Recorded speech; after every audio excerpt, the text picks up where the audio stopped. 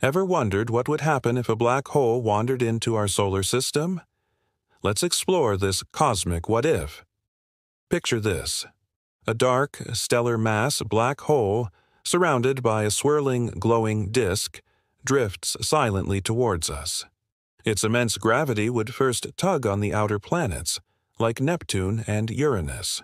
Their orbits would stretch into wild ellipses, and some moons or dwarf planets could be flung out of the solar system entirely. As it gets closer, the Sun itself would feel the strain.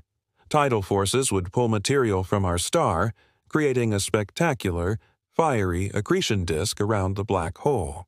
The asteroid belt would scatter like cosmic buckshot, sending a storm of meteors toward the inner planets, including Earth. If this cosmic intruder passed close to us, Earth's orbit would become unstable. We'd experience catastrophic climate shifts and massive tides. Best case, it passes far away, giving us a breathtaking but harmless light show. Worst case, a complete and catastrophic rearrangement of our cosmic home.